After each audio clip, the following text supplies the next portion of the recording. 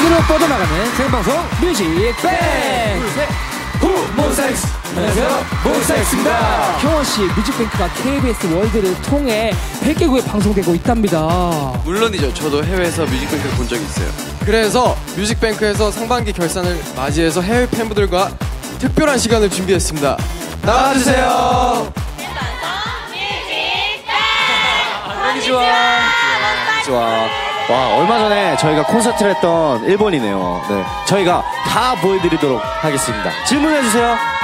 프로의 안무진 든보에게 춤 참 멋있는데요. 몇번 팬들을 위해 선호 오빠가 춤 보실 수 있을까요? 네, 어렵지 않죠. 노래 불러주십시오.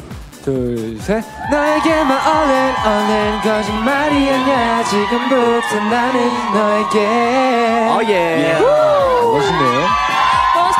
몬스타엑스의 귀여운 모습도 보고 싶어요. 애교 많은 존 오빠의 샤샤샤와 애교 없는 손 오빠의 샤샤샤 보고 싶어요. 보여주세요 주원 씨 정씨 네, 저는요 친구를 만나는 샤샤샤. 네, 몬스타엑스를 좋아해주시는 팬분들 정말 정말 감사합니다. 네 아쉽게도 저희가 오늘 마, 마지막 goodbye 무대인데 팬분들이 이렇게 사랑해 주시니까 더 잘할 수 있을 것 같습니다 네, 남자의 섹시함을 선보일 몬스타엑스의 무대 모두 모두 놓치지 말고 조금만 기다려. 기다려